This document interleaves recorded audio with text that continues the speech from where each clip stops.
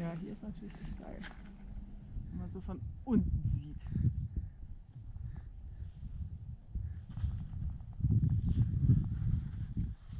Yippie!